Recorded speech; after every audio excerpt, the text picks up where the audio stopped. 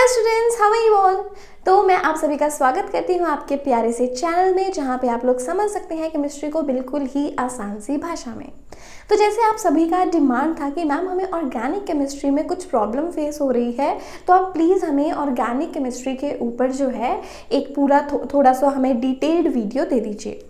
तो हमने यही स्टार्ट करना है तो आज का जो वीडियो होने वाला है वो क्लास 10, 11 एंड 12 सभी के लिए इंपॉर्टेंट है क्योंकि आज मैं आपको ऑर्गेनिक केमिस्ट्री के बेसिक्स के बारे में बताने वाली हूँ। ठीक है? सो ऑर्गेनिक केमिस्ट्री जो है हमारी ऑर्गेनिक केमिस्ट्री में हम लोग स्टडी किसका करते हैं? हम लोग स्टडी करते हैं कार्बन कंपाउंड्स की। ऐसे कंपाउंड्स जिनमें जो कार्बन है, वो एक प्राइम एलिमेंट है, एक बहुत ही अहम रोल जो है वो निभा रहा है। अब जब भी हम लोग बात करते हैं ऑर्गेनिक केमिस्ट्री की कार्बन कंपाउंड्स की तो मेनली यहाँ पे हम लोग बात कर रहे हैं हाइड्रोकार्बन्स की। बेसिकली हम लोग यहाँ किसकी बात कर रहे हैं? हाइड्रोकार्बन्स की। अब हाइड्रोकार्बन्स क्या है? देखिए, नाम से ही सुजेस्टेड है। हाइड्रोकार्बन जब आप हाइड्रो बोल रहे हैं, आपके दिमाग में एक एलिमेंट आएगा हाइड्रोजन और कार्बन तो हमें पता ही है। तो ऐसा कोई भी कंपाउंड जिसमें हाइड्रोजन और कार्बन दोनों ही इंक्लूडेड हों, उसे हम लोग बोल देते हैं एक हाइड्रोकार्बन जिसकी एक कॉमन एग्ज़ाम्पल सभी को पता है मीथेन मीथेन आप लोग बहुत बार सुनते हो, पढ़ते हो, लिखते हो। Methane is C H four आपको पता है।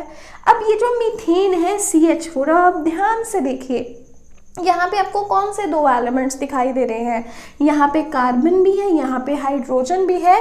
तो इसलिए मीथेन एक हाइड्रोकार्बन है। तो अभी आपको एक चीज़ तो बहुत अच्छे से क्लियर हो गई होगी कि हम लोग हाइड्रोकार्बन किसे कहेंगे?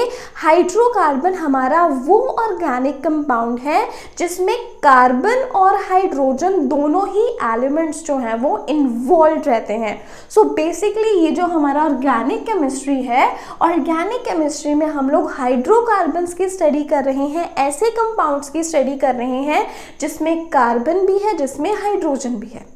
इसके अलावा जो हमारे ऑर्गेनिक कंपाउंड्स हैं ऑर्गेनिक कंपाउंड्स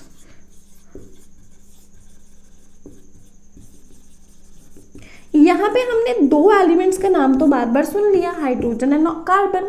अब इसके अलावा ऐसे और कौन एलिमेंट हैं जो कि ऑर्गेनिक कंपाउंड्स में बहुत ही ज़्यादा इंपॉर्टेंट रोल जो है वो निभाते हैं? हाइड्रोजन और कार्बन के अलावा जो ऑर्गेनिक कंपाउंड्स हैं इसमें ऑक्सीजन एलिमेंट भी बहुत ज़्यादा इन्वॉल्व रहता है, इसमें नाइट्रोजन भी इन्वॉल्व रहता है। So we have other organic compounds जिसमें कार्बन और हाइड्रोजन के अलावा एक जो अहम रोल निभा रहे हैं, जो एलिमेंट्स वो है ऑक्सीजन एंड नाइट्रोजन इनके भी बहुत सारे जो ऑर्गेनिक कंपाउंड्स हैं वो पॉपुलर हैं। अब इस वीडियो में जैसे जैसे हम लोग आगे बढ़ेंगे आपको इसकी जानकारी जो है वो आगे से आगे मिलती जाएगी। सो so, अभी दिमाग में एक चीज़ तो क्लियर हुई ना कि ऑर्गेनिक केमिस्ट्री में हम लोग क्या पढ़ते हैं? ऑर्गेनिक केमिस्ट्री में हम लोग पढ़ते हैं कार्बन कंपाउंड्स के बारे में। कार्बन कंपाउंड्स का एक बहुत अहम हिस्सा है हाइड्रोकार्बन हाइड्रोकार्बन उन कंपाउंड्स को बोलते हैं जिसमें कार्बन और हाइड्रोजन दोनों हो। इसके अलावा जो हमारे ऑर्गेनिक कंपाउंड्स होते हैं ऑर्गेनिक कंपाउंड्स में कार्बन और हाइड्रोजन के अलावा ऑक्सीजन और नाइट्रोजन जैसे एलिमेंट्स जो हैं ये भी बहुत ही प्राइम रोल जो है वो प्ले कर रहे हैं। तो यहाँ तक एक हमें बेसिक सा स्ट्रक्चर पता चल जाता है। सो so, हम ऐसे कंपाउंड्स के बारे में पढ़ेंगे जिसमें कार्बन भी है हाइड्रोजन भी है नाइट्रोजन भी है और ऑक्सीजन भी है ऐसे कंपाउंड्स के बारे में। तो अभी सबसे पहले हम लोग सिंपलेस्ट हाइड्रोकार्बन्स की बात करते हैं सिंपलेस्ट कार्बन कंपाउंड्स की बात करते हैं हाइड्रोकार्बन्स की। सबसे जो सिंपल हमारे पास कार्बन कंपाउंड्स हैं, वो कौन से हैं? हाइड्रोकार्बन्स अब हाइड्रोकार्बन्स को भी फर्दर जो है तीन मेन कैटेगरीज में डिवाइड कर रखा है। क्या है ये categories alkanes alkenes and alkynes अभी हमने पढ़ा ना कि कार्बन कंपाउंड्स जो है हाइड्रोकार्बन्स उसमें एक बहुत ही इंपॉर्टेंट चीज़ है। जो हमारे हाइड्रोकार्बन्स हैं, उन्हें फर्दर डिवाइड करा हुआ है कैटेगराइज किया हुआ है। तीन पार्ट्स में अल्कीन्स अल्कीन्स एंड एल्काइंस अब आपके क्लास टेन से आपको इतना तो पता ही है कि जो कार्बन है, इसका अटोमिक नंबर है सिक्स अगर इसका अटोमिक नंबर सिक्स है तो मतलब इसमें इलेक्ट्रॉन्स भी कितने होने वाले हैं? सिक्स अगर इसमें छः इलेक्ट्रॉन्स है तो एज पर द ल्यूअस स्ट्रक्चर ये तो सभी को पता है दैट कार्बन के सराउंडिंग में हम लोग चार डॉट्स लगाते हैं, क्योंकि कार्बन का इलेक्ट्रॉनिक कन्फिगुरेशन क्या हो गया? टू फोर इसके आउटर मोस्ट शेल में चार इलेक्ट्रॉन्स हैं तो कार्बन की सराउंडिंग में हम लोग चार डॉट लगाकर इसका ल्यूस स्ट्रक्चर बताते हैं। और ये जो चार डॉट्स हैं, ये हमें ये बता रही हैं that carbon can make four covalent bonds कि जो कार्बन है, ये चार कवलेंट बॉन्ड्स बना सकता है।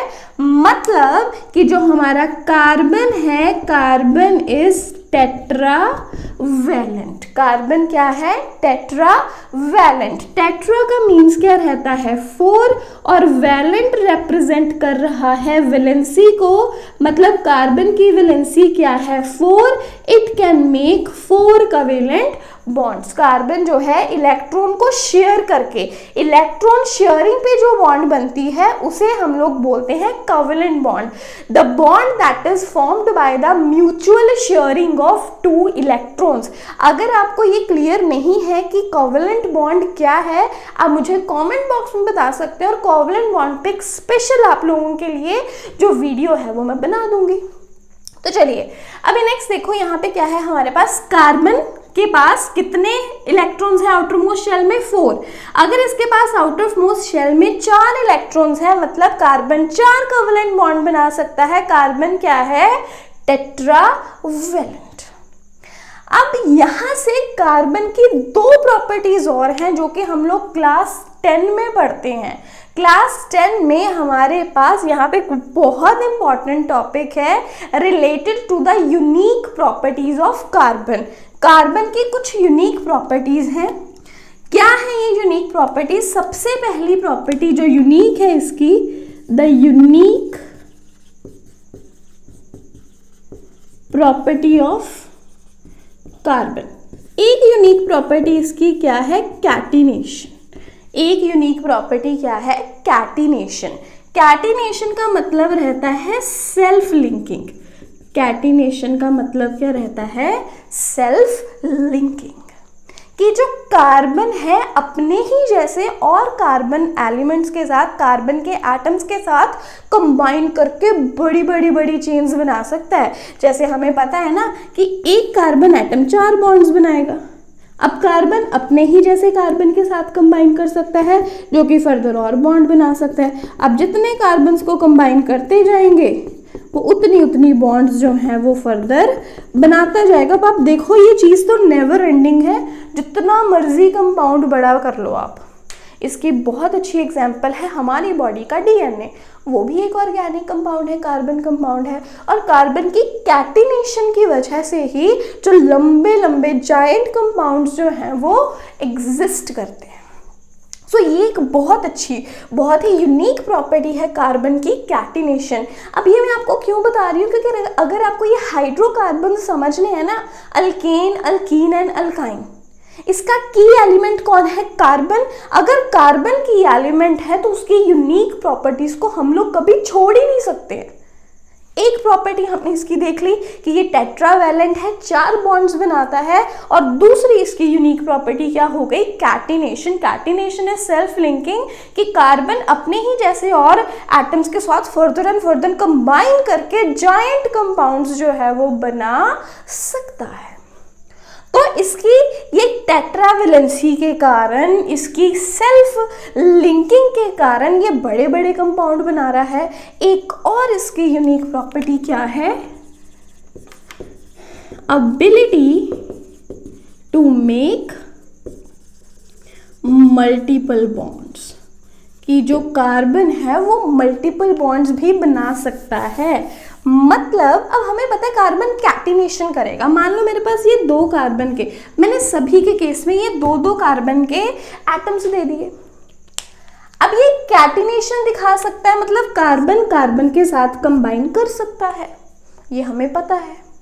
अब दूसरा ये हो गया it has the ability to make multiple bond ये मल्टीपल बॉन्ड बना सकता है मतलब कार्बन कार्बन के साथ हो सकता है एक बॉन्ड से जुड़ा हो। हो सकता है कार्बन कार्बन के साथ दो बॉन्ड से जुड़ा हो हो सकता है कार्बन कार्बन के साथ तीन बॉन्ड से जुड़ा हो। तो हो गए ना मल्टीपल बॉन्ड कार्बन कार्बन में एक बॉन्ड भी एग्जिस्ट कर सकती है, कार्बन कार्बन में दो बॉन्ड्स भी एग्जिस्ट कर सकती हैं, कार्बन कार्बन में तीन कवलेंट बॉन्ड्स भी जो हैं वो एग्जिस्ट कर सकती हैं। और इसी हिसाब से जो हमारा हाइड्रोकार्बन है, वो डिवाइड हो जाता है अल्केन अल्कीन और अल्काइन में। अगर कार्बन कार्बन में सिंगल बॉन्ड है अदरवाइज़ बॉन्ड्स पूरी कर दो, एक ही इनकी बनी हुई है, इसको तीन और बनानी है, इस कार्बन की चार बॉन्ड्स हो गई, इसी तरह से इस कार्बन की चार बॉन्ड्स हो गई।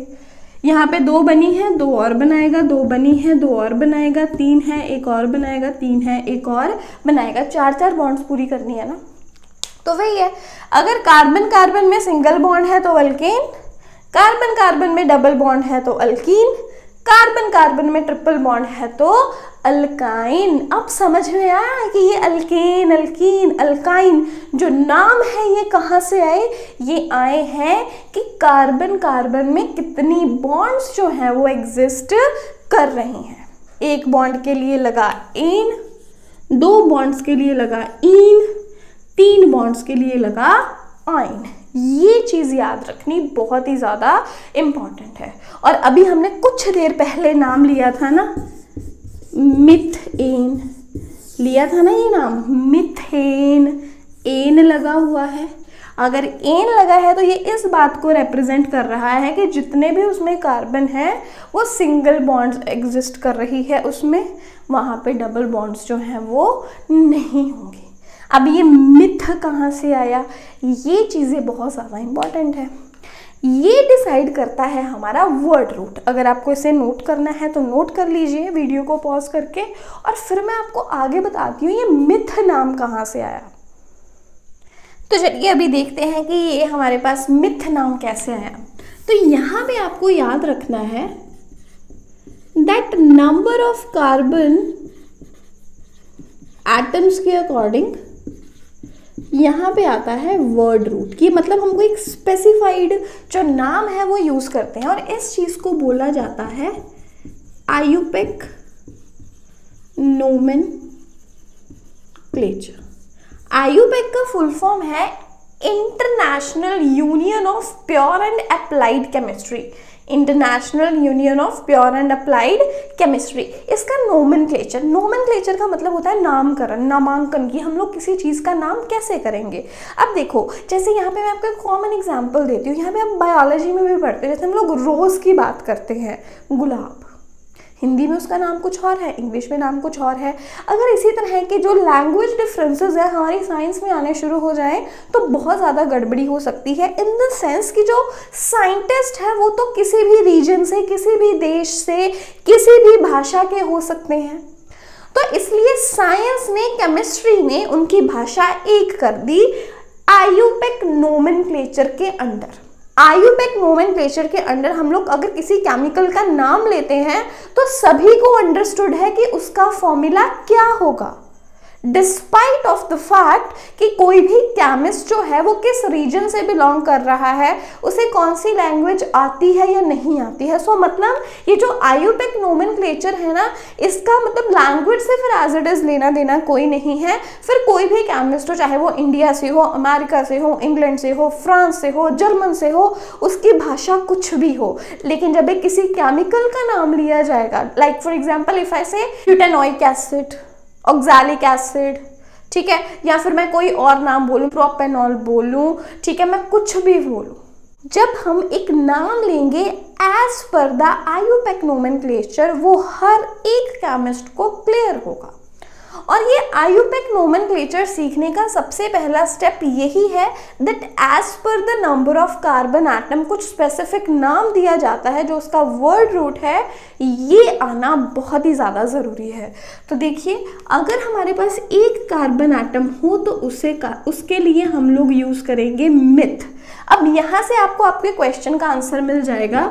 जब भी हमने बोला था मीथेन मीथेन का फॉर्मूला हमने क्या लिखा? सी एच फोर जब हमने मीथेन का फॉर्मूला सी एच फोर लिखा, आप देखिए यहाँ पे नंबर ऑफ़ कार्बन एटम्स कितने हैं? How many carbon atoms are there only one एक ही कार्बन एटम है। और इस एक कार्बन एटम के लिए यहाँ पे क्या आ गया? मिथ एक कार्बन एटम है। बाकी सारे के सारे यहाँ पे क्या है? हाइड्रोजन्स चार हाइड्रोजन एटम्स हैं। Four hydrogen atoms are there ठीक है? यहाँ पे ना कार्बन कार्बन डबल बॉन्ड है, ना कार्बन कार्बन ट्रिपल बॉन्ड है, क्योंकि और कोई कार्बन तो है ही नहीं। तो इसलिए इसको अल्केन की कैटेगरी में डालते हुए यहाँ पे क्या आ गया? एन तो ये बन गया हमारा मीथेन आया समझ में किस तरह से नाम आया? इसी तरह से अगर हमारे दो कार्बन एटम्स हो इथ तीन के लिए प्रॉप फोर कार्बन एटम्स के लिए ब्यूट फाइव के लिए पेंट सिक्स के लिए हेग्स सेवन के लिए, हेप्ट एट के लिए, ऑक्ट नाइन के लिए, नॉन टेन के लिए, डेक इलेवन के लिए, यूनिडेक ट्वेल्व के लिए डो डेक एंड सो तो ये जो वर्ड रूट है, ये बहुत ही ज़्यादा ज़रूरी है। एक बार से रिकॉल करेंगे। नंबर ऑफ़ कार्बन आइटम्स के अकॉर्डिंग आप लोगों ने वर्ड रूट देना है in the IUPAC nomenclature one के लिए मिथ टू के लिए eth three prop four but five pent six hex seven hept eight oct nine non ten dec eleven undec twelve dodec और ये करते करते जो आपका वर्ड रूट है, वो पूरा हो जाता है। और यहाँ से आप लोग जो सिंपल हमारे हाइड्रोकार्बन्स है सिंपल अल्केन अल्कीन और अल्काइन का जो नोमन है, आप आसानी से समझ पाएँगे। कैसे? जैसे कि अगर हम लोग बोल दें अभी प्रोपेन प्रोप बोला? प्रॉप का मतलब कितने कार्बन तीन। वन टू थ्री एन का मतलब कार्बन कार्बन में क्या है? सिंगल बॉन्ड सभी कार्बन की सिंगल बॉन्ड कर दी। अब जो रिमेनिंग पोजीशंस हैं, वहाँ पे क्या आ जाएँगे?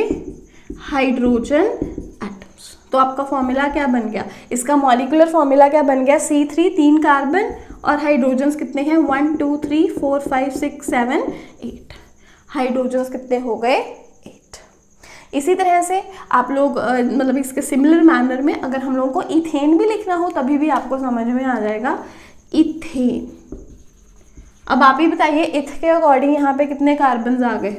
दो कार्बन एटम्स एन के लिए कार्बन कार्बन सिंगल बॉन्ड और जो रिमेनिंग पोजीशंस हैं, वहाँ पे क्या आ जाते हैं हमारे हाइड्रोजन्स फॉर्मूला क्या बन गया इसका? सी टू दो हाइड दो carbon C two one two three four five six C two H six six क्या हो गए हमारे? हाइड्रोजन्स अब ध्यान से देखो, यहाँ से ये देखो, इथेन और प्रोपेन, दोनों ही क्या है? अल्केन्स इथेन और प्रोपेन दोनों ही क्या है? अल्केन्स और अल्केन्स का जनरल फॉर्मूला रहता है C N H two N plus two, के आपके पास जितने भी कार्बन्स हैं, उस कार्बन का अगर आप डबल करके दो ऐड कर देंगे, उतने हाइड्रोजन्स होंगे अल्केन में। मतलब क्या है? अब जैसे ये हमने इथेन लिखा। इथेन का फॉर्मूला क्या है?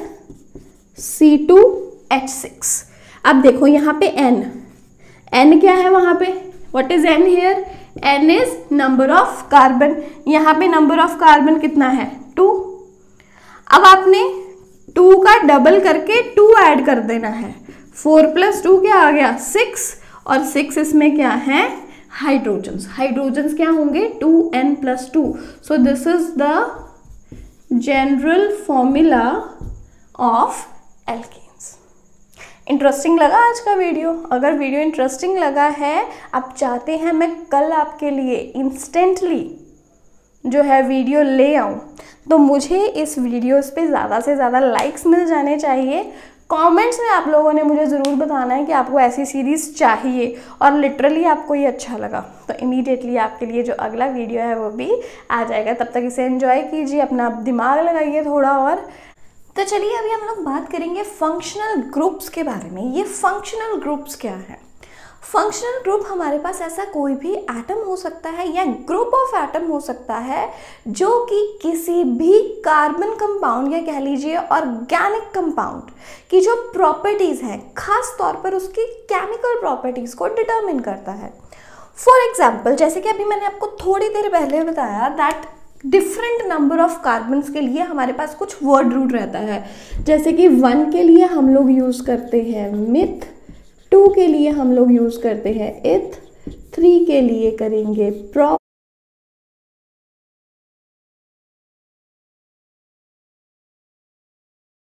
एंड सो ऑन ये इस तरह का मैंने आपको वर्ड रूट बताया है for number of carbon atoms मान लो हम लोगों ने दो कार्बन एटम्स को लेकर चल पड़े. We are taking two carbon atoms one and two इनमें है सिंगल बॉन्ड ठीक है?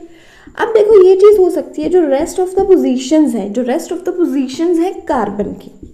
वहाँ पे है सभी के सभी हाइड्रोजन्स वहाँ पे क्या है? सभी के सभी हाइड्रोजन्स अब यहाँ पे सभी के सभी हाइड्रोजन्स आ गए हैं कार्बन कार्बन में सिंगल बॉन्ड है, ये क्या बन गया हमारे पास? अल्केन ये क्या बन गया हमारे पास? अल्केन बन गया। अब देखो, मान लो कि यहाँ पे जो एक हाइड्रोजन एटम है, इस एक हाइड्रोजन एटम को रिप्लेस कर दे अगर हम लोग। जो बाकी चीज़ है सारी एज इट इज़ दो carbon atoms as it is इसके पाँच हाइड्रोजन एज इट इज़ लेकिन ये वाला जो हाइड्रोजन है, इसकी जगह पे कुछ और आ जाए। H की जगह पे मान लो यहाँ पे आ गया ओ OH तो पहले जो अल्केन था, दो कार्बन वाला इथेन अब उसमें एक हाइड्रोजन को कौन रिप्लेस कर चुका है? ओ OH अभी कार्बन हमारे पास दो ही है।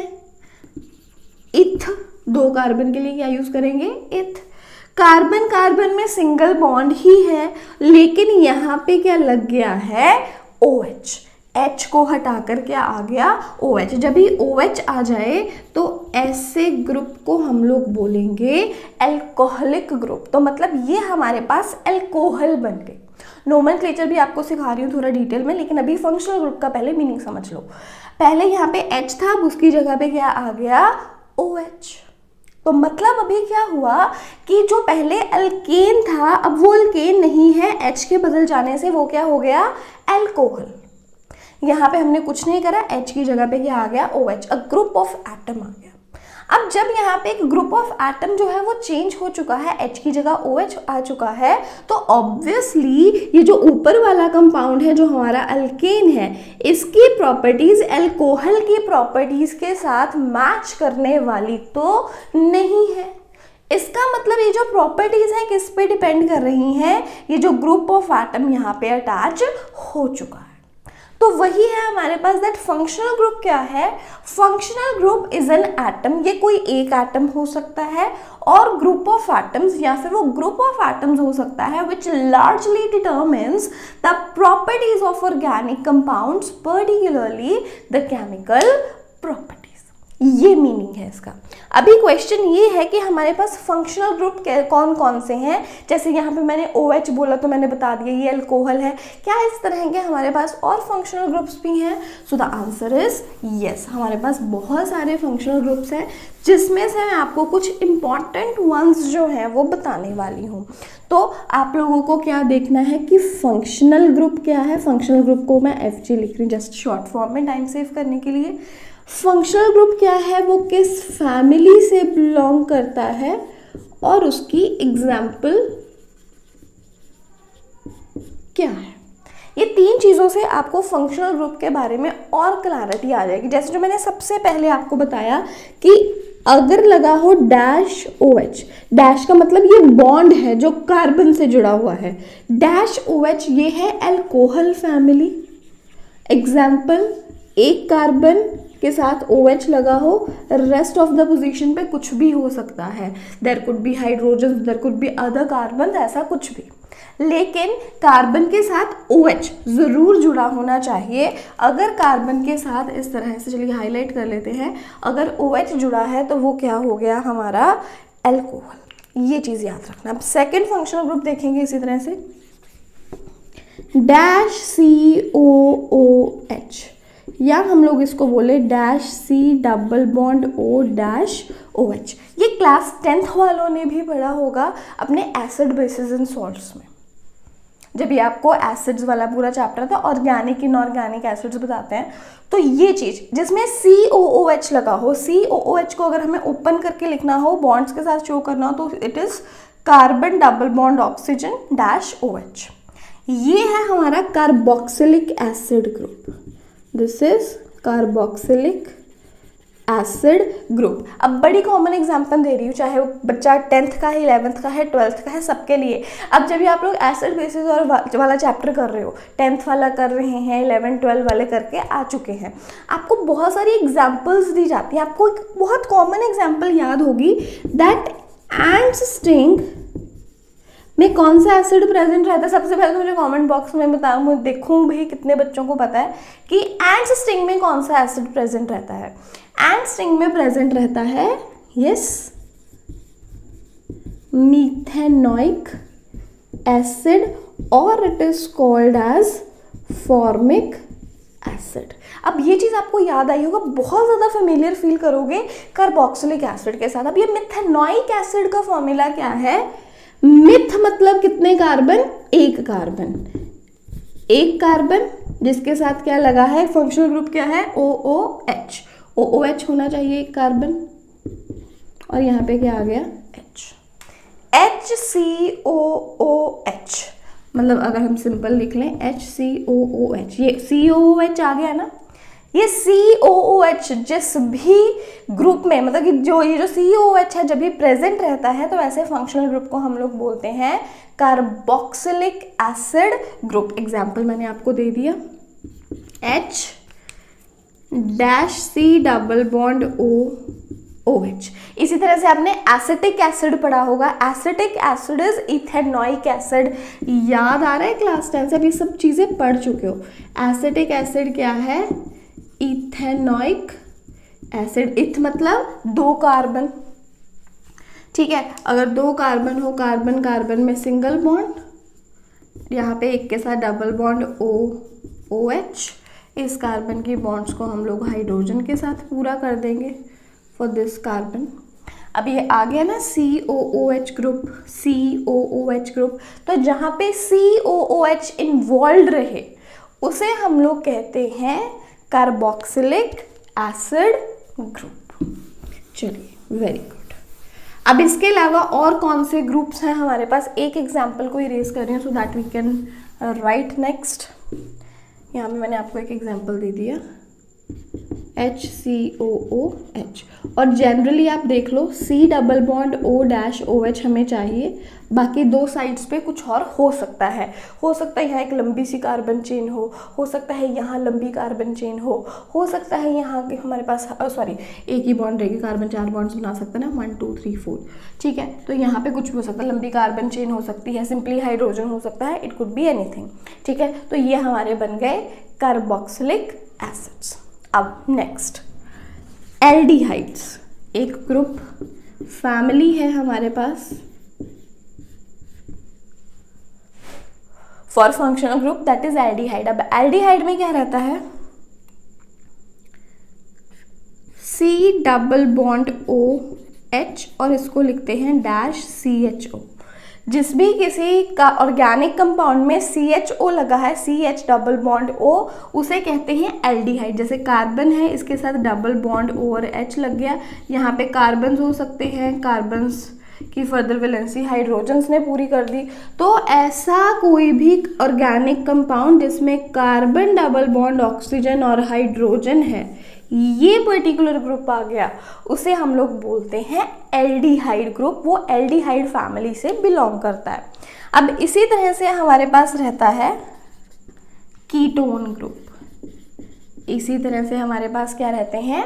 कीटोन्स कीटोन्स क्या होते हैं? हमारे पास कार्बन डबल बॉन्ड ऑक्सीजन और दोनों साइड्स पे अदर कार्बन ग्रुप्स होने चाहिए। यहाँ पे भी कार्बन की चेन होनी चाहिए और यहाँ पे भी कार्बन की चेन होनी चाहिए तो उसे हम लोग बोलेंगे कीटोन ये साइड्स पे हाइड्रोजन अलाउ नहीं करता, क्योंकि अगर मान लो यहाँ पे हाइड्रोजन आ गया तो ये तो फिर से ओ बन गया ना। इसके जैसा तो वो तो फिर से एल्डिहाइड हो जाएगा। तो कीटोन होने के लिए दोनों साइड्स पे जो कार्बन है, उसकी चेंज चाहिए। चाहे दोनों साइड पे एक एक कार्बन हो दो दो कार्बन हो, जितने मर्ज़ी। लेकिन कार्बन ज़रूरी है। एग्ज़ाम्पल देख लेंगे। सी डबल बॉन्ड हो। मान लो इधर भी सी है और इधर भी सी है। इन कार्बन्स की वैलेंसी को पूरा कर रखा है हाइड्रोजन ने। और ये हमारे पास, इधर भी सी एच थ्री आ गया, इधर भी सी एच थ्री आ गया, लेकिन सेंटर में क्या है? सी डबल बॉन्ड ओ तो जहाँ सी डबल बॉन्ड आ गया, दोनों साइड्स पे कार्बन चेन है तो वो बन जाता है हमारा कीटोन और ये जो फॉर्मूला मैंने लिखा है C H three C double bond O C H three this is the formula for acetone मैं जानबूझ के थोड़ा धीरे धीरे बता रही हूँ सो दैट की जो चीज़ें हैं वो आपके दिमाग में फिक्स हो जाए। तो देखिए, अभी आपको चार फंक्शनल ग्रुप्स पता चल गए। वीडियो को पॉज करके इसको नोट कर लीजिए। फिर मैं आपको फंक्शनल ग्रुप एक और बहुत इंपॉर्टेंट फंक्शनल ग्रुप है, उसके बारे में बताती हूँ। इसके बाद हमारे पास आते हैं ईथर्स इसके बाद हमारे पास आते हैं ईथर्स अब ये ईथर्स क्या है? ईथर्स आर लाइक कि ऑक्सीजन है, दोनों साइड से बॉन्ड बना रहा है सेंटर में ऑक्सीजन है। इधर भी हमें कार्बन चेन चाहिए और इधर भी हमें कार्बन चेन ही चाहिए।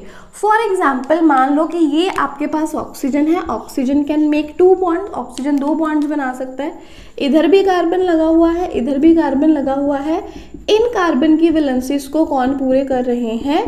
हाइड्रोजन अगर दो कार्बन एटम्स वाया ऑक्सीजन जुड़े हुए हैं सिंगल सिंगल बॉन्ड के साथ तो ऐसी फैमिली को हम लोग बोलते हैं ईथर ऐसी फैमिली को हम लोग क्या बोलेंगे?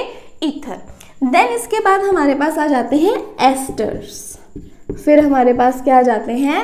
एस्टर ये एस्टर क्या होता है? Ester is C double bond O dash O R और इधर भी कोई कार्बन चेन ही चाहिए। इधर भी क्या चाहिए? कोई कार्बन चेन यहाँ पे आर क्या रिप्रेजेंट कर रहा है? R is representing the alkyl group ये भी बहुत इंपॉर्टेंट चीज़ है, बस कुछ ही समय में बता रही हूँ कि एल्काइल ग्रुप क्या होता है। तो अगर हमारे पास एस्टर चाहिए तो एस्टर होने के लिए क्या लगेगा?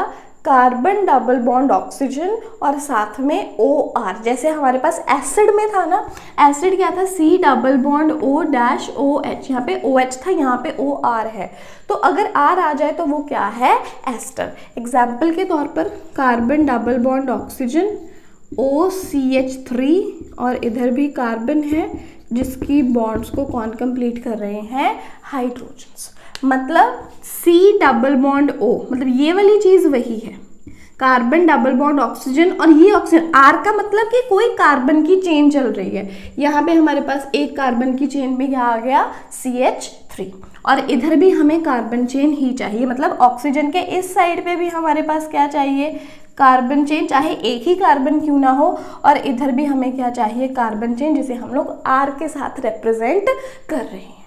तो अगर ये चीज़ हो R C O O R ठीक है? अगर ये चीज़ हो R C O O are या फिर हम इसको बहुत प्रिसाइजली बोल लें R dash C double bond O O R ठीक है है ये दोनों कार्बन चेन्स ही हैं, लेकिन यहाँ आर डैश और आर इसलिए लिखा है क्योंकि ये बराबर हो भी सकते हैं और ये बराबर नहीं भी हो सकते। हो सकता है यहाँ एक कार्बन की चेन हो, यहाँ दो कार्बन की चेन हो, यहाँ तीन कार्बन की चेन हो, यहाँ एक कार्बन की चेन हो। तो ये जो यहाँ पे नंबर ऑफ़ कार्बन आइटम्स है, वो वेरी कर सकते हैं, इसलिए आर और आर डैश लिखा है, ये इक्वल हो भी सकते हैं, ये इक्वल नहीं भी हो सकते हैं।